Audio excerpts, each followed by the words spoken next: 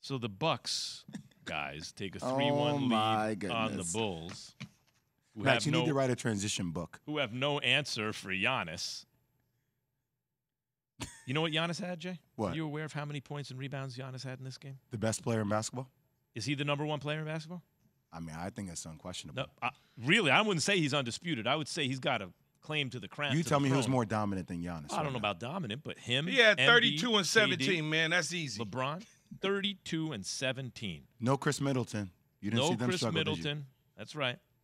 Um, Grayson Allen is the guy who could use some thick hands. I think people just want to take a swing at that dude. For real, I do. Yeah, he's like, let me sign. I'll co-sign it. There's some players out there, Key. You just He was Kinda wanna fight. He was booed throughout the game. Still gave him 27 points. By the way, here's what's interesting. Bull, the, the, the Bucks fans practiced booing him. Here, here's my thing if you're a Chicago Bull fan like myself. The dude who took Alex Caruso out Yep. on a fast break, broke his wrist, Mm-hmm. is a dude that gave you buckets in game three and game four.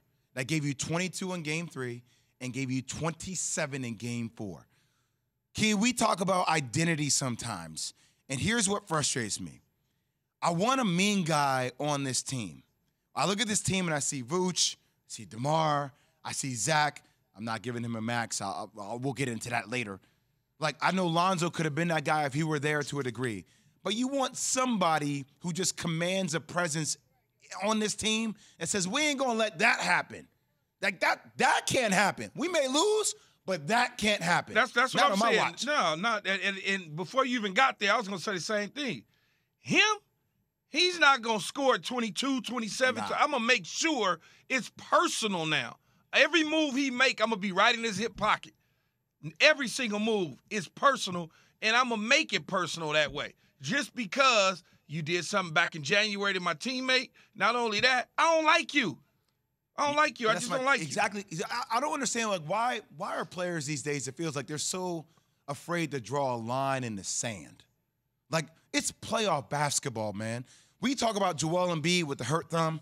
Do you know what the Miami Heat are going to do to his thumb? Right. Every time Every he gets the ball, slapping down on. Hey, yo, this is the way the game is. You know what? Your team allowed us to have uh, reports that your thumb was hurt. It got out there. Okay, you playing? Part of the ball. Part of the ball. So like there are little things that you reckon. I don't understand why the Bulls wouldn't. So let me let me get Mm. okay. So let me get let me get all this straight. Okay, what we what we think about this. Okay, number one, Grayson Allen, you can't let him beat you. You can't let No. that dude beat you. He knocked Caruso out in January and with the wrist and everything. You can't let that guy go off. His teammates are practicing, booing him in practice just so he gets used to it, right? And he should get used to it. And they let him do it. Okay, that's They probably one. wanted to boo him. Yeah, right, exactly. It's like, hey, let's tell him that uh, we have to boo him to get him used to the booze, just an excuse. But meantime, it worked, and he went off. Giannis went off. What can anyone do with Giannis, guys? Is there anything anyone can do with Giannis? Well, we everybody talk about the best player in basketball, and I know I said it. So we'll get a chance to see that at the next level. When the Celtics beat the Nets and the Milwaukee Bucks take care of the Bulls, we will see that colossal matchup. And we've talked about before, people have built walls to stop Giannis. We'll see the best defensive schemer, one of the best, Ime Udoka, head coach of the Celtics, scheme with Jayson Tatum, Jaylen Brown, Robert Williams, who is back, who will probably be the primary defender for Giannis and Al Horford, all take their shots collectively against See, the Key, best player in the world. that- This what is- Jay this is saying, Key, when- but that's- this is go Okay. ahead. Uh, no, I I was going to say this is why when Jay says he's the best player in the world, he's number one, no doubt. I'm saying, yeah, I, maybe he's the best player in the world, but the title's still up for grabs. Like it's not undisputed. Not up for grabs, But to me, Key, he's got to beat what Jay just said. A great defensive team like the Celtics. Well, that's what. is- Yeah, yeah. That's what I was getting ready to get at, Max. I was about to say, not only him, this go- coach Bud now has to figure out how to mm-hmm. get other people like Jrue Holiday and, and Brook Lopez involved to a point where it's going to lift some of the offensive pressure off of Giannis. Because much like Jay said, kind of know what the Celtics might do with the same recipe, sort of kind of that they're doing with Kevin Durant. Is now you know that you know going in, this is what they did to KD to eliminate him.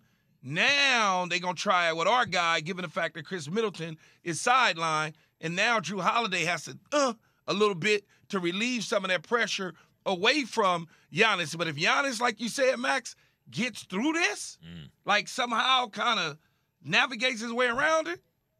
Mm, mm. Mark yeah. this down, yeah. my peoples. You heard it here on KJM. We were the first show to talk about Steve Nash and some of the questions around his coaching and uh, combating strategies.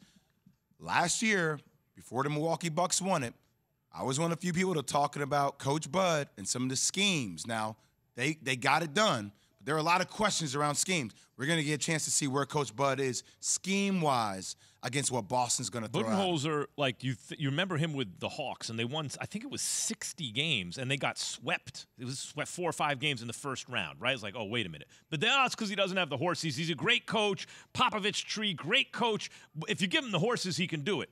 Then he had the horses in the butt with with the Bucks, and in the playoffs they kept coming up short. One thing I did notice about him last year was during the regular season they didn't have as good a record. That's because he didn't have Giannis always initiating everything, right? Like they were trying different things to get ready for the playoffs, and I think it worked. But you still have questions about him.